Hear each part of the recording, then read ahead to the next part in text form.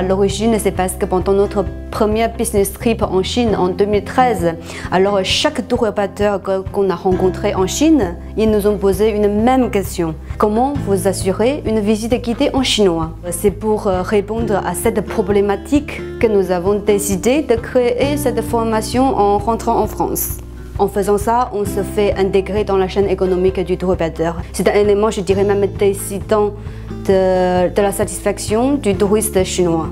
Le marché chinois en, France, c'est quand même euh, un marché plus développé. Euh, vraiment, il y a beaucoup d'opportunités dans ce domaine.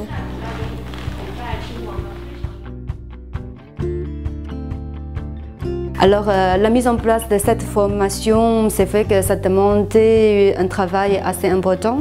Donc, au début, il faut concevoir euh, le projet avec euh, l'UBJV, Université de Picardie-Gilles Verne, le recrutement des intervenants extérieurs pointus pour bien donner plus de valeur à cette formation pour que les étudiants soient, hum, soient opérationnels après la formation. Aussi, convaincre nos sites pour qu'ils soient un vrai partenaire euh, dans cette formation, qu'ils s'inscrivent dans la démarche. Comment ça se passe cette formation? Les étudiants, s'ils souhaitent obtenir euh, ce diplôme et après pouvoir euh, quitter nos groupes chinois, alors il faut qu'ils valident les cours universitaires. Il y a des cours théoriques et des cours pratiques. On a des conférenciers qui vient pour nous expliquer comment ça fonctionne, le guide, etc. Euh, par exemple, le directeur de CRT.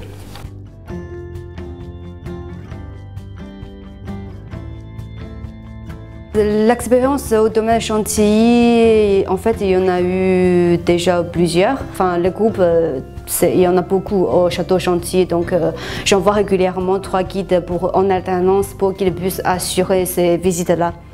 Euh, je peux leur aider de, non seulement de découvrir le paysage de Picardie, mais aussi de mieux comprendre l'histoire de l'art, de religion, etc.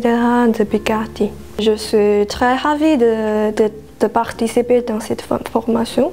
C'est une formation euh, très intéressante. Ça m'enrichit aussi beaucoup de connaissances et puis je suis prête d'être le guide